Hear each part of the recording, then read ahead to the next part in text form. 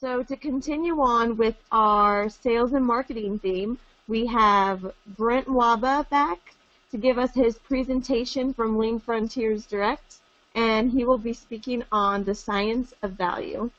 Brent is on the faculty of Lean Enterprise Institute and is a regular contributor to the Lean Post with articles about value, strategy, and leadership. He is also the author of The Fluff Cycle, which describes an easier, more holistic approach to sales and marketing improvement. So for now, I am going to turn it over to Brent. Okay, thank you. Can you hear me? I sure can. That's great. Well, first of all, thanks everybody for, for joining in today. And if you joined in yesterday and didn't hear the whole presentation, we're sorry about that. We had some still mysterious technical problems, but rest assured we've got several layers of technology backup in place now, uh, just in case. I also want to give a special thanks to everybody at Lean Frontiers for not only hosting this series, but uh, also asking me to speak today. So for the next half an hour or so, we're going to talk about that half of lean that everybody acknowledges as being very, very important, but for some reason it doesn't really get enough attention during anybody's lean transformation, and that's the topic of, of value. Last year, Qvidian had a research project asking sales reps for the top reasons why they didn't reach their quota. And the top two reasons were that they could not effectively communicate value to the customers and that they were unable to get a customer decision, which no doubt means that uh, customers hadn't gotten to the point where there was enough value in making that decision that they would proceed forward. So we know value is important. I've got a hypothesis as to why we don't put enough emphasis on it, which I will talk about later. But uh, in the meantime, let's get going with the presentation. So this is the science of value. You heard a little bit about me. I started my lean experience about 20, 20 some odd years ago at the Delphi Corporation. We were heavy into lean manufacturing and logistics and starting to explore other areas. My first application hands-on in sales and marketing was as a sales engineer.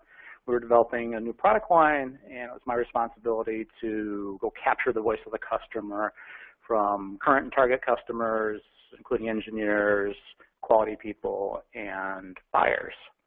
Take that information back and disseminate it to our team, and we go through this learning and sharing cycle with our customers. A few years later, I took over responsibility for a struggling global business, and um, I had different responsibilities there. We had the leadership of Jim Luckman and Matt Zayko, who you heard from a couple days ago, in the lean product and process development sphere, but it was my responsibility to figure out how can we leverage lean across the whole enterprise, the entire global business, which meant figuring out what does that group of all of our customers really want? Do we have the right portfolios of products and services to be able to satisfy them? Do we have the manufacturing footprint to be able to deliver that value as efficiently and effectively as possible?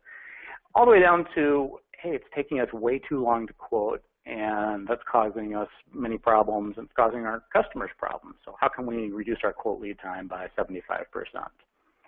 We didn't look at lean as being our strategy, but we looked at lean as being the set of solutions or potential solutions towards implementing our strategy. And the fact that I'm here talking to you today means that we were successful in turning around that business. Got a consulting company, Strategy Science. I'm on the faculty of the Lean Enterprise Institute, and I do a lot of work with startups pro bono through SCORE. And uh, as you heard earlier, I, I write quite a bit. Okay, so let's talk about you. What's keeping you up at night, right? There's no doubt that the vast majority of those who are engaged in lean sales marketing want to sell more, right? And as we break down that, that problem, that how do we sell more question, Right. We get a number of other questions, which could be around customer satisfaction. Are we getting what we need to out of our investment in marketing? Are our products and services good enough? How do we connect with our customers? How do we get repeat business and word of mouth? We can work through efficiency and effectiveness of our processes, and there's no doubt that that will improve all of these.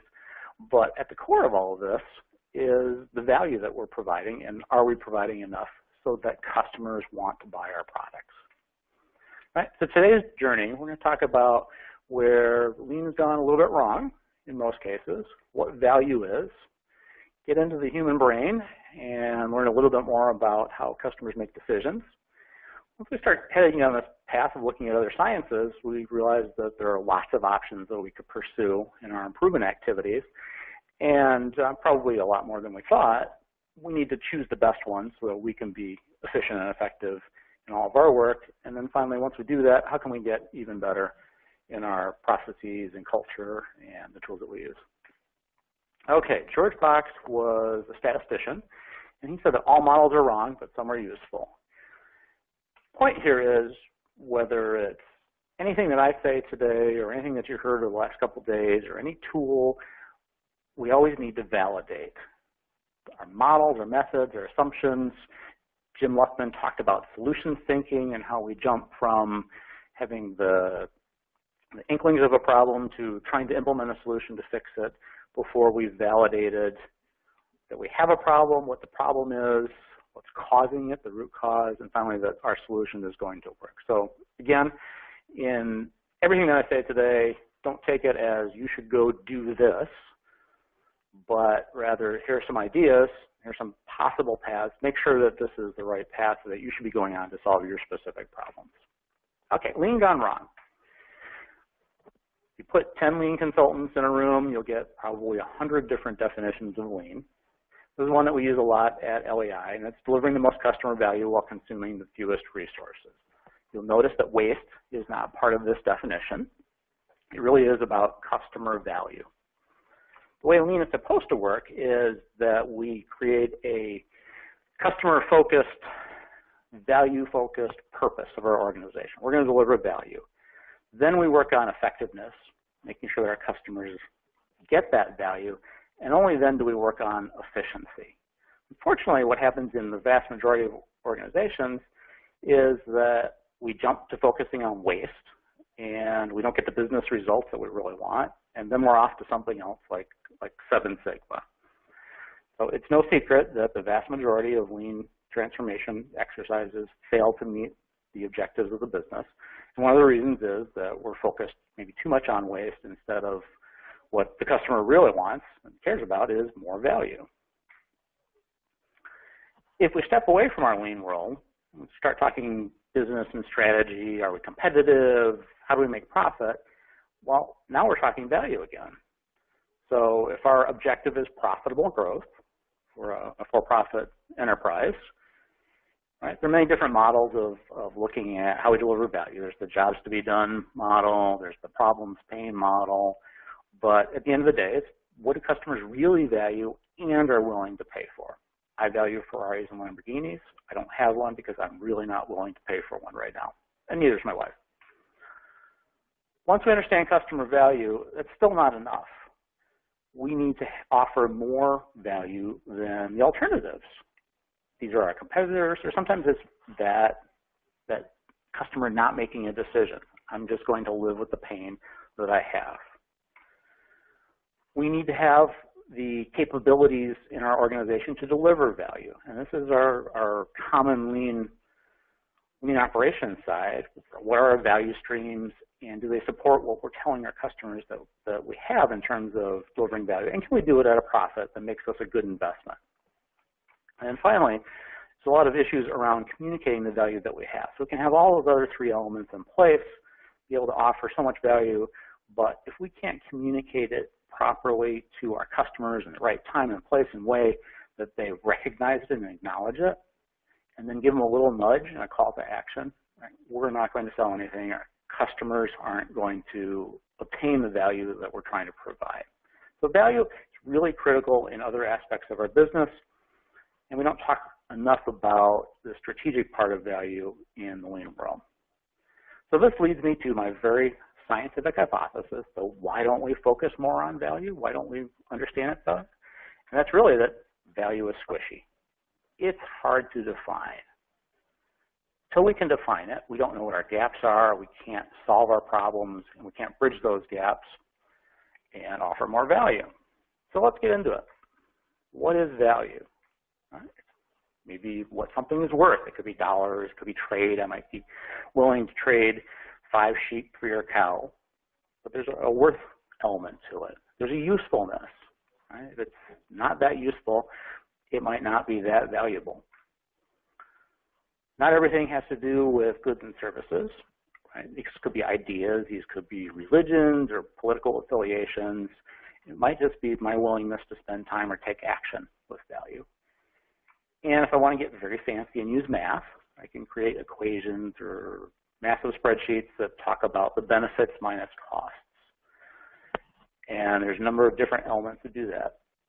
But what I'm thinking is that this really isn't everything. There's something that we're missing here that hits us in the face every day. And to get into it, it's, well, why are all these puppies and kittens in advertisements? The answer is it's emotion. Human beings, we all have emotions and we value emotions. If we really want to get people on our side or pull at their heartstrings, we add a very cute baby to it. So what we mostly care about, or care about is customer perceived value. And this is an unconscious emotional and social value to what we do. And we're not just talking about life insurance or Pampers or dog food. There's many other things, and this happens a lot in, in B2B business too. Poor experience causes 75% of customer defection. If we ask our salespeople why we lost the business, most often they say it was price. When we ask customers, they say, well, it was a bad experience that we had. If you break that 75% down, over half of that is actually occurring during the actual buying selling process, the transaction. We're all influenced by fear. And we want solutions to take away our fear. So life insurance and tires, um, whatever political party we elect into office, we have fear and we want someone to come. There's value in taking away our fears. Part of that starts with the relationship that we have with the people who are selling us things. So if I don't have a trusting and secure relationship with my vendor or my salesperson, I'm just going to compound my fears finally, in the back of our, our minds and our brains, we've got all these processes going on. And we all want to be happy and we want to be entertained and we want to get promoted. Uh, we all want to be attractive. We all want to be cool. All these things get into the mix in our unconscious minds, and it's hard to separate what, what do they really mean. I've, I've worked with manufacturing engineers who get very, very excited about the controllers for their screw machines, right? These are all part of the emotions that are in the mix. We also care about what other people say or think, our friends and our relatives, or even other people on the internet. One of the things that got talked about a lot in the last few days is pricing. And pricing has a lot to do with value. We had Brian Maskell, Orry Fiume, and Ed Miller all talk about cost models and pricing and market pricing and things like this. I'd say unless we're selling wheat or some kind of generic cold rolled steel, there really isn't a market price people are willing to pay based on the value that they receive. So we've got a lot of opportunity to improve our profitability by pricing based on what we know about our value. But until we understand what that value is, we're just kind of shooting in the dark, taking this average market price and not doing the best thing. We know for certain markets, like luxury goods, that we can actually increase the value of a product based on it being scarce and being luxurious. So higher priced products and services sometimes carry more value in the customer's mind. Getting down to hardware, $300,000 is not by any stretch of the imagination the, the most expensive tractor you can buy, but there's quite a few differences in what you get for your $300,000. So this nice shiny green John Deere tractor with the tank treads appeals to a very specific set of buyers. And those farmers want their accessories, even if they don't come from John Deere, to be that green or to be that yellow so that they match. Alternatively, we could buy a very not green, a blue New Holland tractor with eight wheels. Now, that's a different technical solution than the tank treads on the John Deere, but there's an element of emotion in that blue tractor. And then finally, there's this red, Ferrari red Case that looks nice and aerodynamic, and with that, we can probably plow our fields at 6.1 miles an hour 6. There's a lot of emotion in how our equipment looks, uh, but what you can't see in the pictures is what else really matters to a farmer. So a lot of farmers have a two-week window to earn their year's worth of income, and their machines need to be on the field, ready to go, serviced to hit that two-week window, and if not, their local dealer needs to be there fixing that part. You can't exactly drive your tractor down to the dealer and get a loaner tractor. It's got to be ready to go, and that's all part of the value equation. The other thing I want to talk about is that what customers value is plastic, or we can change it. And there have been lots of little experiments along the way that, that show this.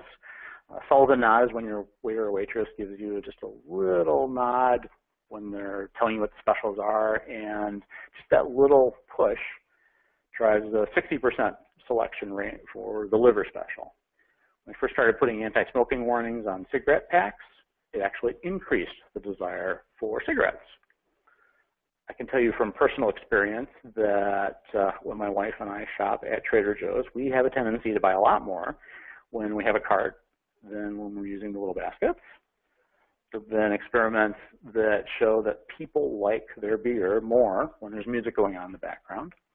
And if you're trying to prove your value to the judge, you're trying to get parole, um, it's good to know that your judge just ate something because blood sugar as well as temperature and lighting and time of day all have impact on what people do when they make decisions and when they put value on things. So value is very plastic, and if you want uh, some very well-known examples, Steve Jobs is often quoted as saying Apple knows what customers want before customers know that.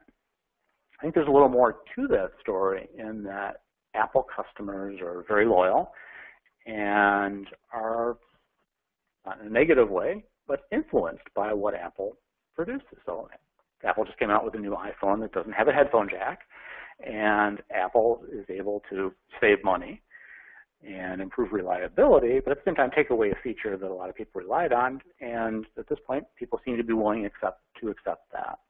Dyson sells a very premium priced vacuum cleaner. It's not necessarily better than, than ones that cost several hundred dollars less, but through their commercials, they are able to influence their buyers to put more value on certain features, like that ball or the way the hose comes out so that you can vacuum up the stairs.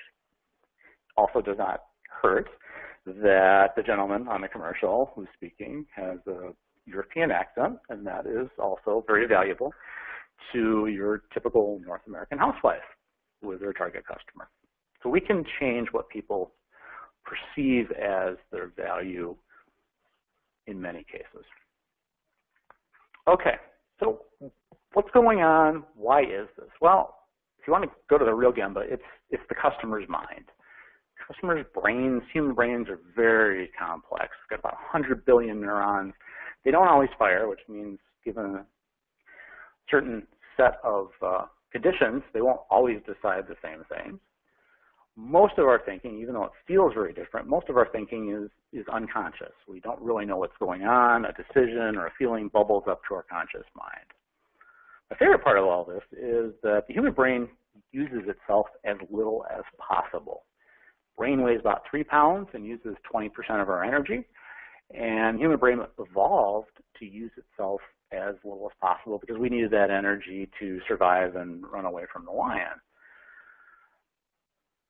One of the things the brain's done to compensate for this is create a number of shortcuts and biases to making decisions and creating emotions so that we can jump to a solution. There's that solutions thinking again, without having to think about it a lot in our conscious brain and use a lot of glucose. One of those shortcuts is that decisions require emotions. So we have an experience, we have an emotional response, we tag that experience or that memory with an emotion, and when we come to what we perceive as a similar situation, those emotions allow us to act about 3,000 times faster than if we really had to think about it in our conscious brain. So if I go to the local electronics store and I have a very bad experience, I'm going to remember that, even if it's on the unconscious level. And the next time I need to get some electronics, I may not think about it consciously, but I may avoid that same electronics store. We also have certain neurons in our brains that perceive other people's emotions. So getting back to the puppies and the kittens and the circumstances in the insurance commercials, right, we learn through other people and we can feel their emotions. This is all part of the mix. Cutting to the chase, we want to change ourselves or other people.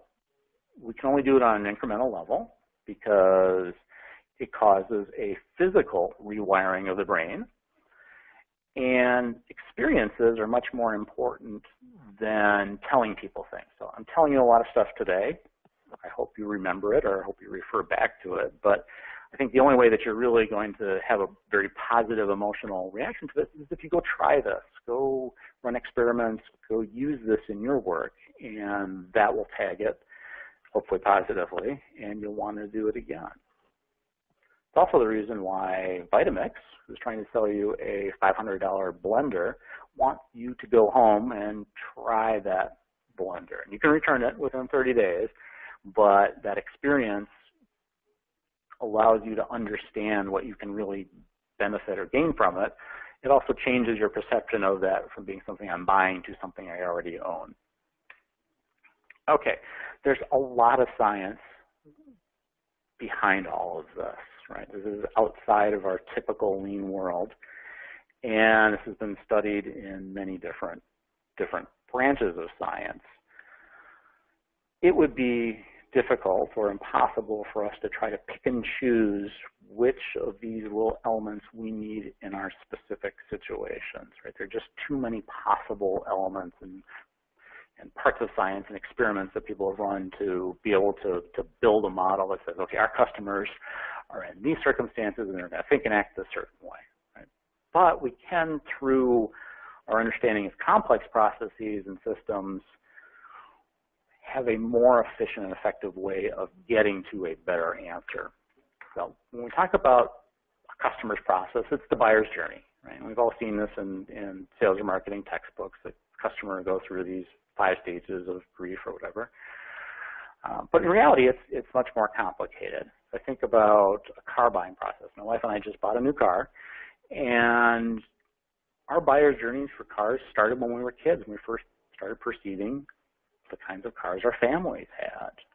I think Fords are fine products, but we had a Ford Falcon that we got rid of after it caught fire, and I need to consciously overcome that kind of a bias. It has nothing to do with anybody that's designing Fords today, but that's what happened to me in my life, and it has an influence.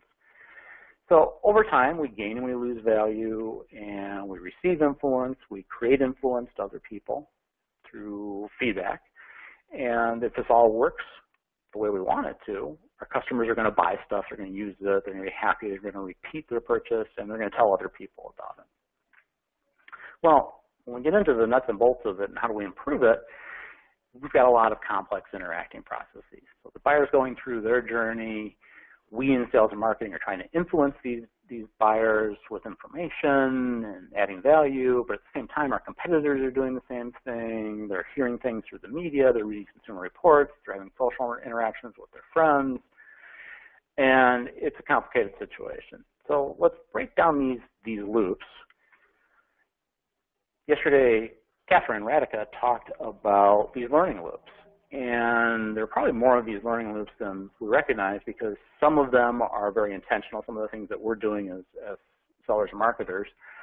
And also some of these things are happening because customers are just living their lives. So if we think about just a simple, simple loop of I'm a seller, you're a customer, I'm giving you information.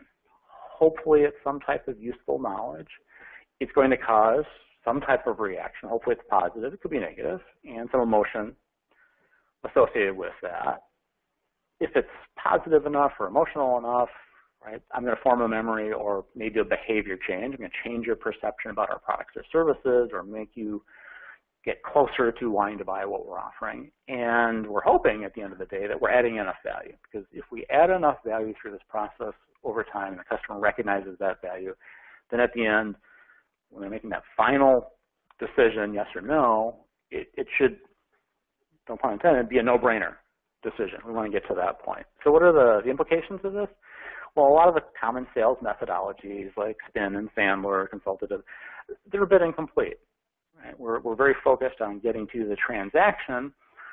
The process is actually much longer before and after the transaction, and we've got interactions with the rest of our organization so we can take this information that we're getting and this influence that we're receiving from our customers and hopefully push or more appropriately, hopefully get pulled into the rest of the organization. Right? So if we want to make an improvement, this I think is one of the big ahas here, is that we've got to simultaneously improve both our internal processes, but the process for our customer. Again, the customer journey is a process. Our internal processes are value streams or processes, but they both interact. So if we want to make a improvement to the overall system, we need to Im improve both of these. We need to figure out what's the right time and place to add value and positive influence. Our competitors are saying bad things about us or that their stuff is better, right? We need to counteract negative influence. We're all overburdened. Everybody receives between 5,000 and 10,000 media messages a day, and roughly three have a very positive impact. So if we overload our customers, if we overproduce with too much information and we try to influence too much, we overburden them and an overburdened customer is more likely to not make a decision. And then finally, incremental decisions, and this actually is borne out in a lot of these sales methodologies, right? When we walk into a car dealership, we don't want to hear coming out of the salesperson's mouth the first thing, do you want to sign on the dotted line? Right? We're making incremental decisions. Is this the right brand? Is this the right model? What features do I want? What are my other considerations? So taking a customer through an incremental decision-making process, and this is what a lot of good salespeople do, is very important. Otherwise, we do overburden them and we don't get to the decision that we want. So what do we do now? Well, we need to think about sales and marketing is really it's an end-to-end -end learning and improvement process. And we can get better in our process if we ask the right questions throughout this process. So who are the customers we're targeting, who influences them, what in terms of value are we offering. It could be the product, service, the information, the things we do to make their life easier along the way. Why would you pick us, which is a value proposition, over the alternatives? How do we communicate in terms of the message or the experience? When do we do it? Where do we do it? And again, as we're trying to step through this buying process, right, what are we hoping to get? If we know what kind of behavior we want to get from our customers at each step of their buying process, right, that'll help us to influence them better. So we could talk for days about this whole list here. I just want to cover a little more deeply the what and the why us.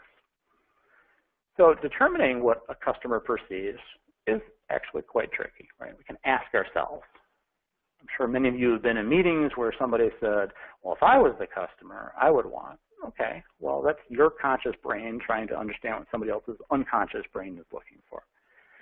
Same thing happens when we're value stream mapping processes, and I've seen this happen a lot in sales and marketing. We're mapping our process, and we spend most of the time, the vast majority of the time, thinking about what we're doing and not understanding what our customers are doing.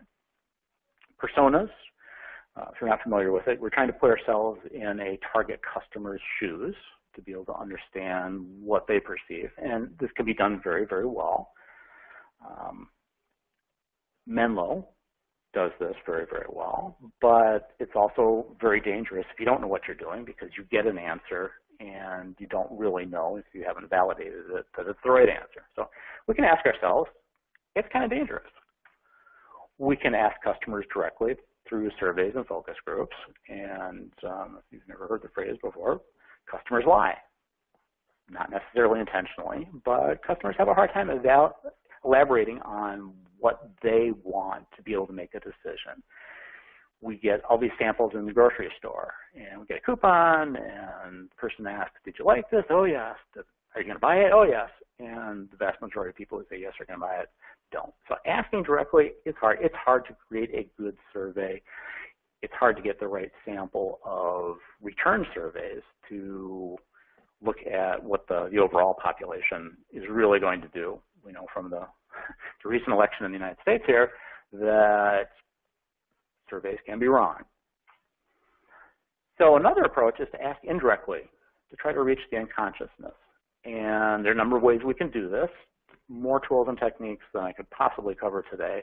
But the first is just observation. Right? We watch how the farmer is interacting with his or her tractor, or how a customer is acting within the grocery store. We can learn a lot just by watching what people do unconsciously. We can run experiments, simple experiments, you would think by now with all the millions of web pages that we'd know what makes, makes a good web page. We don't.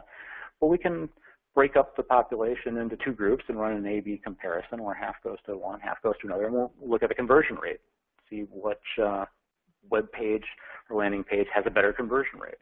If we want to get very fancy, we can shove people into MRI machines and really look at their brain and different parts of their brain while we're showing them commercials or or logos or things like that and understand well, what's going on at that unconscious level.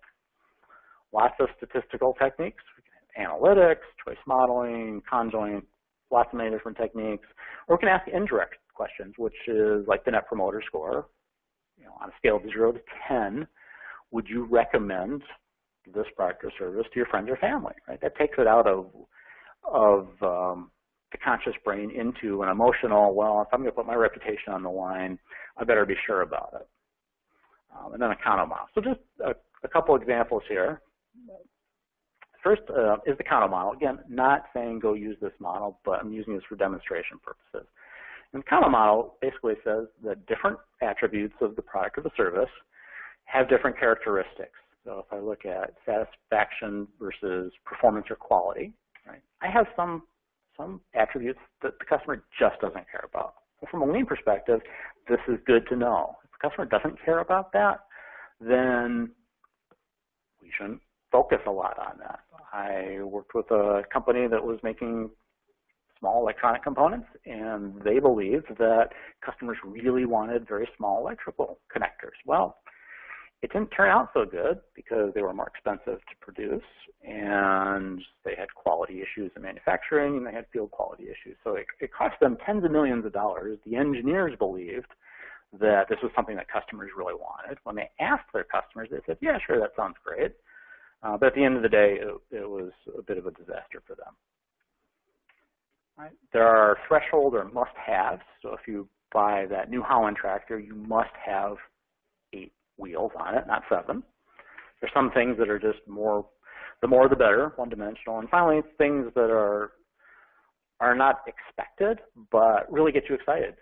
So I once once leased a car that had a heated steering wheel, and I was living in the uh, cold tundra of western New York, and I thought, well, at the time that I got the car in the summer, what the heck am I going to do with this? It was just another thing that's going to break. Well, when I got to be below zero, that was a really cool feature to have, and I was very excited about it. Another example, statistical attribute models. This is conjoint, again, not promoting conjoint over other models, but basically packaged coffee has roughly 100 different attributes. And if you do the statistical analysis, only six really affect the utility or the purchase decision. And if we know what these six are and we know what the cost model is behind these, we can make better business decisions. We can offer products that, that customers will, will want, and we'll know that ahead of time. And um, we can look at trade-offs, cost-benefit trade-offs, and predict market share. So the, the important takeaway from this is not the model, but the when your customer is making a buying decision, you may have a laundry list of attributes that you're trying to hit, but in reality, it's probably only four, five, six, or seven different attributes that really make a statistical difference in whether customers going to buy your product or service. There are lots of things we can do that aren't performance or price driven attributes. We've got the value stream in the experience. Music on iTunes is not any different than any of the other streaming services, but it is different in terms of how we receive it or the process than buying a CD or vinyl. There's systems level things we can do through standardization. We can make big systems cheaper. We can take little parts of the system. We can take on more. These all can add value if these are one of your four, five, or six attributes that are important. Um, we can add value-added services. If we're selling IT services, right, system design is a value-added service, and a lot of that occurs during our sales and marketing process. We also provide valuable knowledge so that customers can make better decisions, and they do value that. We can and often need to think about our customers' customers. So if, if I'm designing buildings and my customer promotes themselves as being a green business, well, then the building that I'm designing should be LEED certified so that they can talk about that to their customers. And then finally, and this is much harder to do, but there's a lot of value that has to do with brand and status and social attraction. So if I'm opening up a coffee shop and I want to have more social attraction, I might add comfy chairs so that people stay and they interact. Okay, so speaking of coffee shops, um, you may be aware that Starbucks had a lean journey It's around 2008 when they were opening way too many Starbucks. You could literally step out of a Starbucks in one part of the world and walk across the street and go into another Starbucks. So they were trying to change how they uh, were approaching their business, and they adopted Lean to do that. And for them, their mission essentially was to to be able to offer consistent, high quality, handcrafted beverages, right? And that sounds good, um, good missiony kind of thing. But when it comes to lean, that's not really something that people can grab a hold of and do something specific about. I don't know how you be 30% more handcrafted, but they needed to translate that into something. So for them, or for their customers, I should say, it got down to taste, speed, friendliness, and accuracy. Those were the four things that they really wanted to improve, and that drove their lean activities so that they had a consistent method of the work and a consistent method of teaching the work. And that drove a lot of their, their lean behavior. So that taste, speed, friendliness, and accuracy, that was their value proposition. So what is the value proposition? This is something that, that answers that question. Why would you pick us over any of your other alternatives, right? So it's a value we offer from the customer's perspective. And on a, a mental level, it's a shortcut if you go to me and say, hey, let's go grab a cup of coffee, right? I want that shortcut to be great. There's a Starbucks across the street. Let's go there. As opposed to, well, should we go to Tim Hortons or Dunkin' Donuts or McDonald's or right? We don't want people having to make these decisions. We want this this mental shortcut because there's a, a good viable value proposition. But if we think about it from our company's perspective, it can also be an ongoing learning and improvement process. So if we know what we want to focus on through our value proposition, we can create alignment from product and service development, from our strategy side, from our operations and delivery side. So everybody's focused on the right same things. When we do that, we reduce our overall effort across the entire enterprise. It helps us with our competitive analysis, our positioning. When we start to design our product or service or the customer experience, right, we know what we want to focus on, and it makes selling and promoting much easier because we're not overburdening, overwhelming our customers with, again, a laundry list of attributes. We know what customers really want and value, and hey, we're here to offer that too, and we can prove it. Value propositions come in many shapes and sizes. You've all heard the taglines, no or light, taste great, less filling. Kind of tells you what it is. FedEx, when it absolutely positively has to be there overnight. Pork was the other white meat, and a lesser known cousin to that was bacon, which is the gateway meat for vegetarians. Okay, when I was at Delphi, we worked in value propositions a lot. This helped a lot of our lean activities because this was a, a way we could not only communicate internally what we needed to accomplish, but we were able to work better, more closely with our customers in creating these value propositions. So we would look at all the attributes and we go to our customers and say, are these the right attributes? They say, yes, no, you're missing one.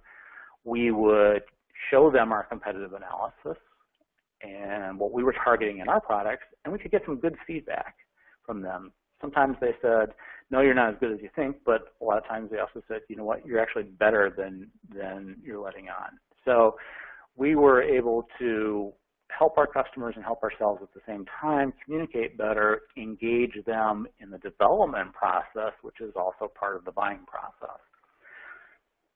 The key thing here, though, is which were really the critical attributes that we're going to, at the end of the day, mean a buying decision, and are we talking to the right people throughout that process. An application example is the Square credit card reader. So back in 2015, about when they were first coming out, um, their value proposition was started very simply. Everybody should be able to accept credit cards.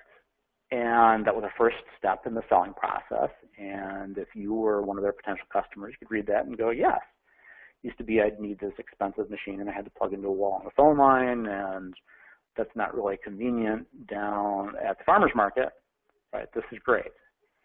And then they built on that. So this incremental building of value, saying, well, it's not just about running credit cards. We can do your back office stuff on your phone or your, your laptop. And we're also thinking about your customers, right? So if, if um, your nana is selling salsa down at the farmer's market, right? Your nana can can uh, take credit cards too. So very effective use of it, very simple. Down at the bottom there is a great call to action, right? We build all this value. We're working on heading down that path of incremental decisions. And a lot of times that no decision is that we didn't ask our customer to make a buying decision. We didn't prompt them to do something next. And this happens on web pages all the time, but it also happens in large contracts. So here they're saying, well, we can start accepting credit cards today. Great. It's not that complicated. Sign up and we'll mail you a free Square reader. Right? Very simple process. Gets them to the point where they've got the thing. Once they have it, they're going to start to use it, and um, that ownership helps make their final decision much easier. So what do we do next in all this? There's a lot of stuff. I apologize. It might be a little overwhelming at first. But first of all, Lean 101. And this is forgotten so many times. I can't tell you all the companies that I've visited that just have not aligned their, their purpose and their strategy with real customer value. And that's because they don't understand really what customers value. It's very fuzzy and, and nebulous we need to improve both our internal and our customer processes at the same time. Right? We can do one and we'll get some improvement. We can do the other, and we'll get some improvement.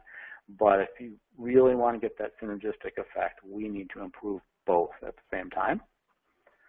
There are so many more attributes we could be leveraging, and some of the breakthroughs in business these days are not technical hardware related things. There's some other element of the associated service like iTunes. And so we've got a lot of things that we can leverage. We need to look at that entire buyer's journey, typically much, much further behind and ahead of where we're in the picture. We need to start before we, we initiate our designing of the product or the service or the customer experience. And don't forget customer experience which is very critical, and we talked about earlier for repeat purchase, don't forget we need to, to think about designing that too. But at the end of the day, we need to figure out what those really critical attributes are that are really going to motivate our customers to, to purchase from us. And through this presentation, we're talking about a much broader scope of things we could do. That's not easy to start to think about we have processes to get you there. But the good news is that there are probably fewer things we have to work on at at the end of this process than we typically do. So the net is that we improve our efficiency and effectiveness over time if we understand what those things are. If we know what those things are, it helps us competitively too because we can now focus our capability improvement, which is another major element of lean, so that we support our value proposition. Continuous improvement of these models and these methods and the way we influence is very important, and we need to use a scientific method. Back to solutions thinking, sales and marketing world is is the worst. I've, I've worked in lean in every aspect of the business, and the number of solutions that are available to the sales and marketing world is, is tremendous. We can use science, though, to determine what it is we really need to, to be using and how do we improve them.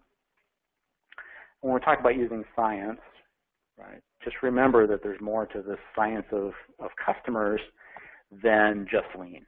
We can use a lean framework, that's what we did at Delphi, we can use a lean framework to drive our improvement activities, to align our improvement activities to our business problems and our customer problems, but when it gets down to these little learning cycles and what are we going to do and how are we going to do it, there is other science out there that we need to pull in to to make these these better decisions on how we're going to improve our processes. If we don't do these things, you might end up on my, my board of epic value fails, which are some important lessons learned in, in the models that we've been talking about. The first is the Pontiac Aztek.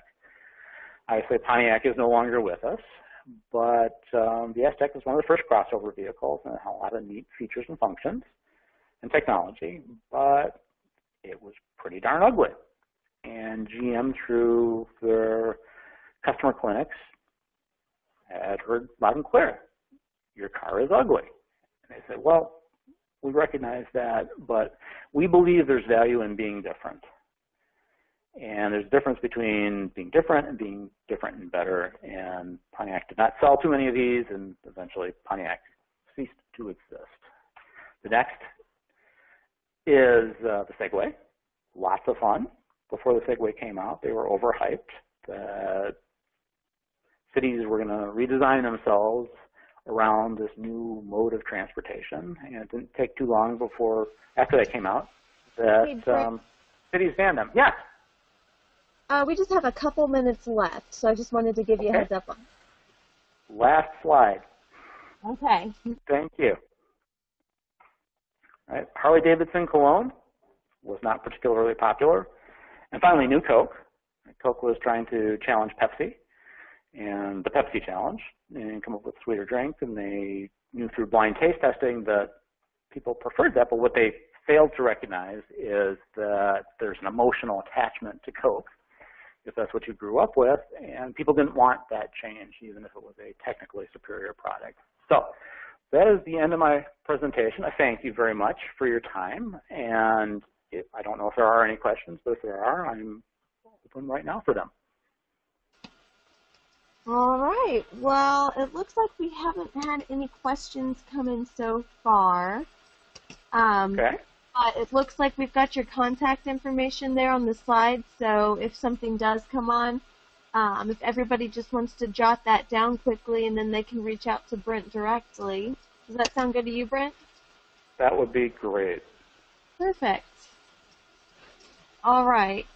Um, well, Brent, thank you so much for facilitating our session today.